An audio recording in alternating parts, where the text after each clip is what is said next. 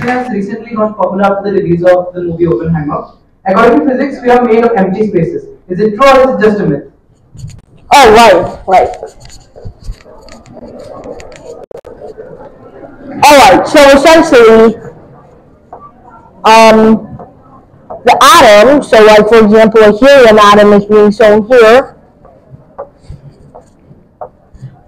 there is a lot of distant space between the nucleus and the electrons, like much, much bigger than what is shown here. In reality, it looks something like this.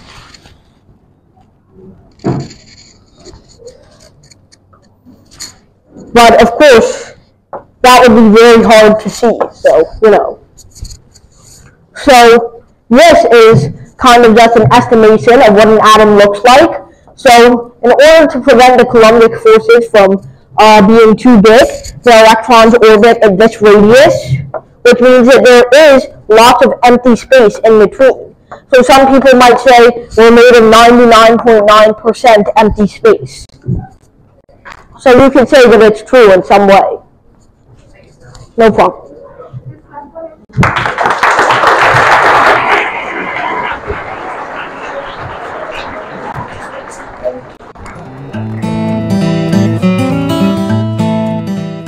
22nd April 2024 will remain as a red letter day in the history of SFS school.